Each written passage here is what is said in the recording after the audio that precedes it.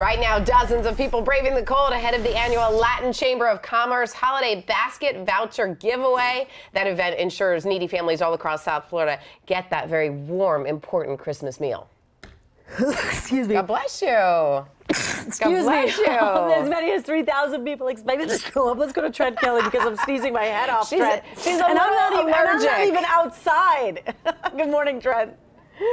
I I was just going to say that, Nikki. You're not even out here in the cold and you're sneezing there in the nice warm studio. But hey, speaking of that cold, I got to say it is pretty chilly out here, but clearly that's not stopping all of these people from waiting in line here. This is right behind the CAMACOL Tower in Little Havana. Some of these people, guys, have been waiting out here for days just to get a chance to get their hands on one of those coveted holiday food baskets. Let's go and show you some video right now showing you just how long this line is. This is all part of the Latin Chamber of Commerce's 34th annual Holiday Basket Giveaway. Here's how it works. The first 3,000 people in line here this morning, they're all, all going to get a voucher that basically ensures they will receive a free Latin style holiday dinner. They're going to get things like rice, yuca, bread, even some pork in there. Now, we should point out that the food itself won't be handed out today. Instead, everyone who gets one of those vouchers, they're going to have to come back out here in two weeks on December the 18th.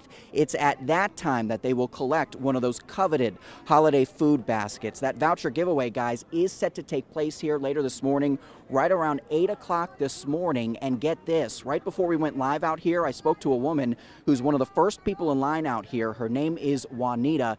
She comes out here every single year. This year, though, she came out on Saturday. So she's been waiting out here literally for days just to get a chance to get one of those holiday food baskets. She says every year, you know, things do get pretty tough financially during the holiday season. And so this food basket really means a whole lot to both her and her family, making sure that they can enjoy a nice, warm holiday meal uh, for uh, the holidays. So again, back out here live, you can see uh, we continue to see even more people filing into the line as we speak. It's probably going to get even longer by the time they end up handing out those vouchers here. Again, that's going to happen right around 8 o'clock this morning.